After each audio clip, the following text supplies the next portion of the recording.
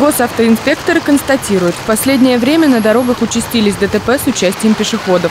Каждый инцидент – это следствие того, что люди перебегают проезжую часть в неположенном месте, либо игнорируют правила перехода по зебре. Сотрудники ГИБДД Одинцовского городского округа провели профилактический рейд на одном из пешеходных переходов, расположенных на улице Чикина, чтобы выявить нарушителей. Расскажи, пожалуйста, как надо переходить дорогу?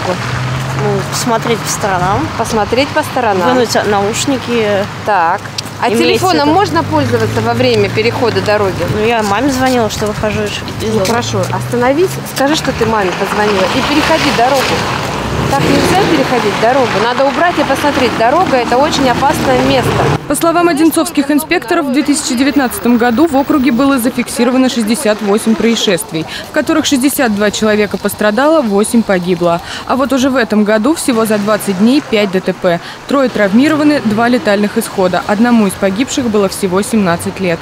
И именно эти два инцидента произошли в темное время суток. Сотрудники ГИБДД отметили, что пострадавшие не имели световозвращающих элементов на одежде. Пешеход обязан, э, прежде чем перейти проезжую часть, остановиться, э, убедиться в том, то, что транспортные средства э, на двух сторонах проезжей части остановились и уступают пешеходу для того, чтобы он мог перейти проезжую часть.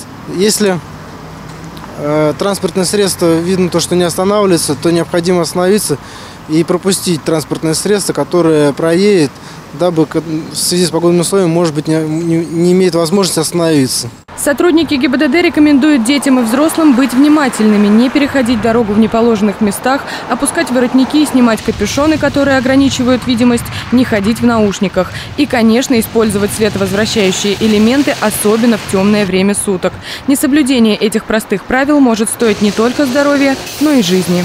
Елена Морозова, Артем Ломоносов, телекомпания «Одинцова».